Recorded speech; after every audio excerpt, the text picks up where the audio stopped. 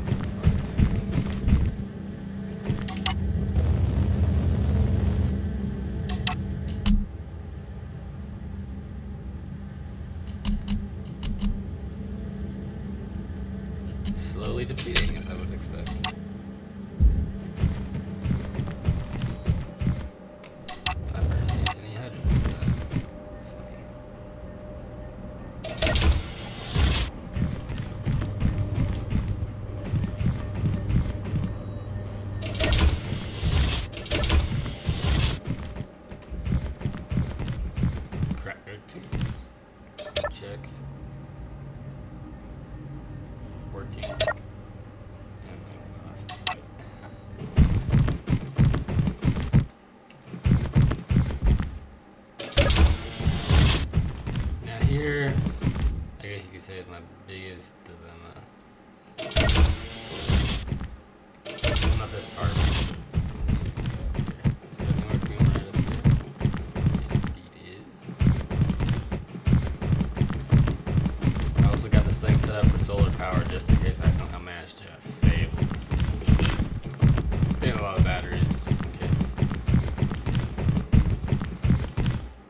Now the ship introduces of course an engine room, but I'm gonna go to the to the front of the ship and go from there on back. And show the ship into everything it has. My God, you're actually looking. I think.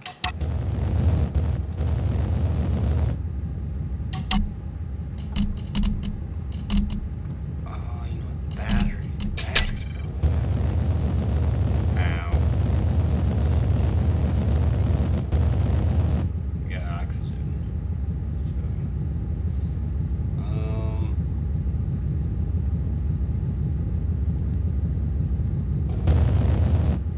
I need uranium for that. What do I got in my inventory?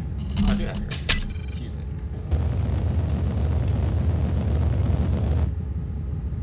Let's take it this so it can spread it everything evenly.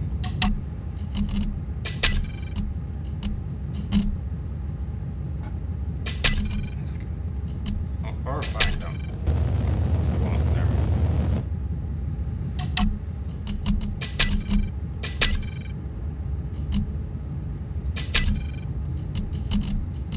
I forgot to link all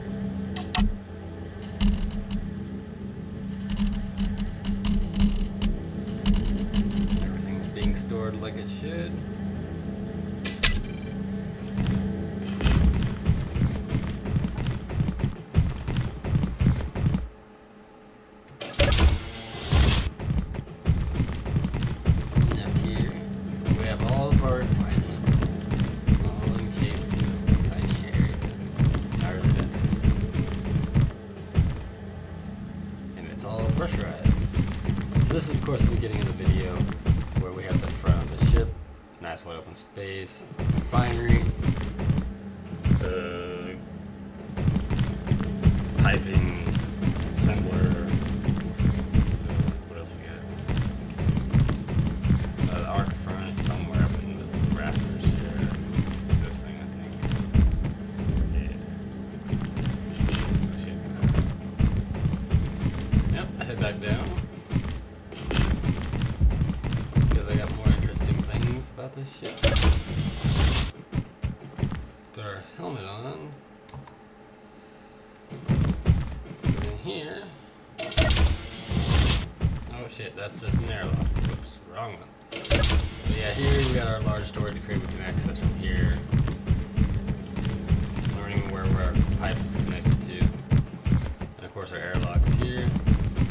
On each of these terminals perpendicular to each other even on the other side. Has, of course, an airlock. This airlock goes to my emergency drop pod, so to speak. And I feel like I think out the air get broad blasting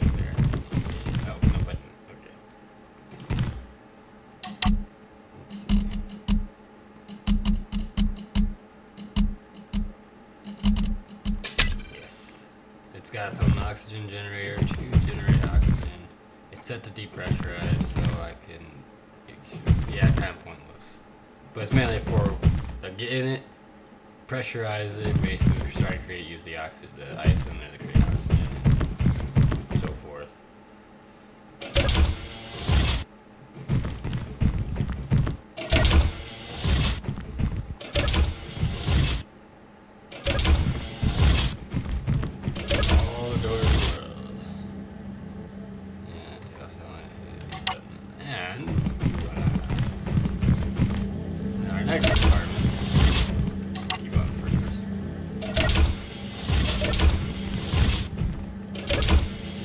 have our hangar, which is only a top door hangar. Thought it was probably pretty decent design. Um, helmet back on. I set the room to depressurize, so I don't lose any of my oxygen. All the oxygen will go into the tank. Sort of. Enough oxygen probably to reach the works. Okay, we're depressurized, from which I can then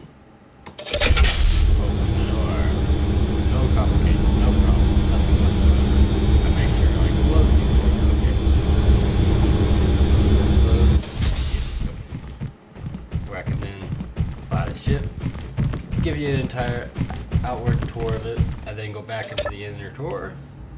This is probably all this, video, this whole video is gonna be is a tour of my ship. I have my last gears on. Go. This is my drilling ship, so I can get gather materials for my ship to keep surviving. No grinder ship, no welder ship, no fighter, because, well, even though I could have contacts out here, not too worried about them right now. Because I think it's still glitched where they're just on planets right now. And I have this set to planets, as you will be able to see if I can see. Yep, there we go. So here, we got my little ship. Fully capable, fully oxy oxygenated. Uh, obviously no hydrogen, but it works. From the outside, you can see I've powered it up with plenty of solar panels. In case I ever get caught in the gravity well of a planet, I have plenty of atmospheric thrusters to deal with that. Trust me, this took a long time to figure out how many I would need. A long time. And a lot of these ships crashing into the planet. of course, over here you can see the exterior of our emergency drop pods in case the ship were to, I don't know, have problems and have to be abandoned in some sort of worst case scenario. And then to the back, it's not, I wouldn't say it's, it's not meant to be a fast ship. Unless of course you're in the atmosphere, and it's really stupid fast. I got decent amount of thrusters, I guess. Maybe, probably not. You guys be like, oh, that's, that's sucky. Why, why is this ship so small? Compared to other ships I've seen built? I'm like, this one's just supposed to be an all-purpose survival game. And as you see, I even included the little connector for connecting this ship so I can put stuff in there. That's why I was at this asteroid.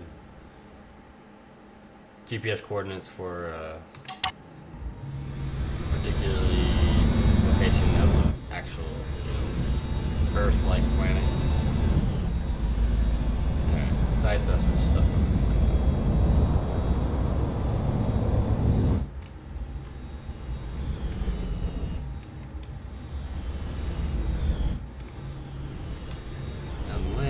Ever so cautiously.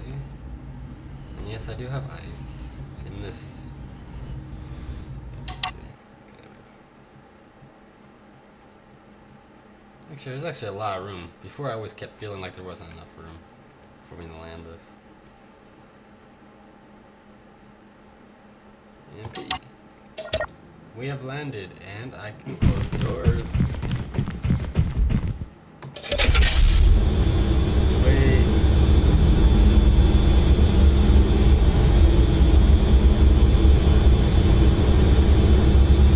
Room is now pressure. Well, I won't say pressurized yet, because now I got to hit this button and be like, now room is pressurizing.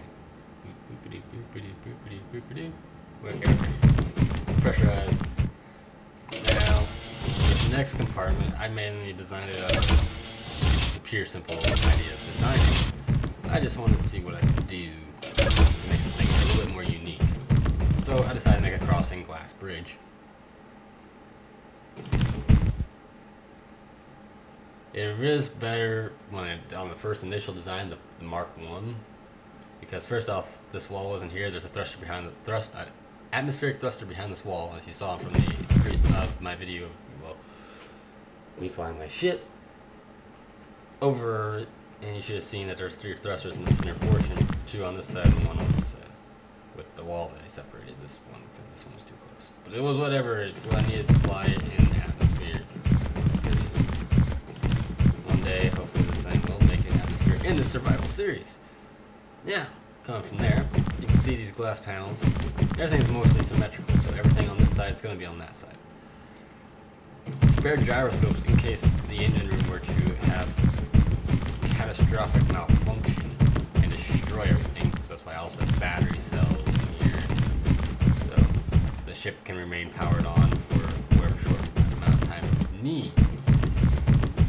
And up here is really just more gyroscopes and storage. Can't go wrong with more storage. I feel like my other side's a little bit different.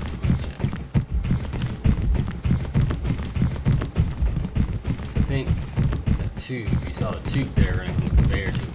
I don't think this one did. Oh, yeah, it did. Well, continuing on with the video.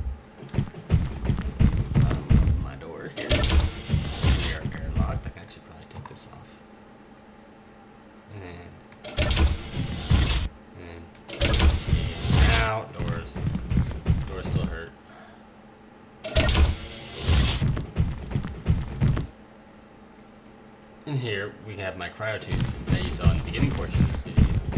I just thought, well, we got a spaceship with the jump drives, two of them to be exact. Why have cryotubes? Whatever I call them. Of course, our unique and special air system, this is about where it comes into the main portion of the ship instead of being exteriorly guarded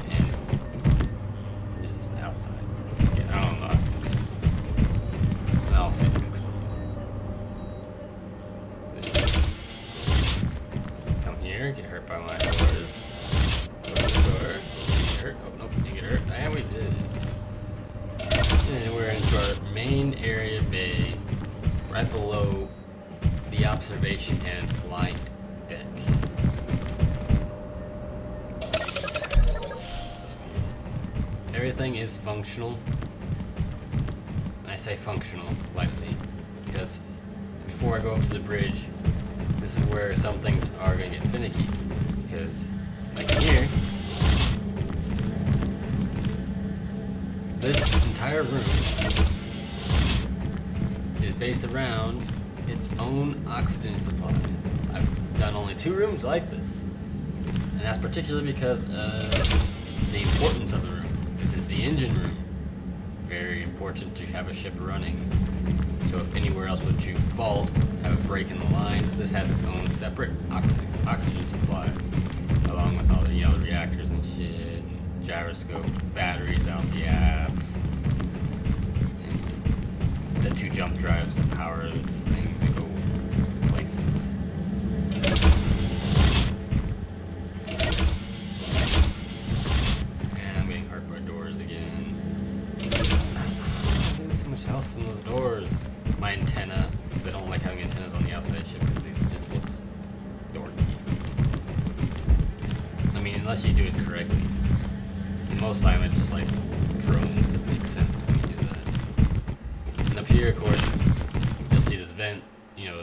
it's turned off.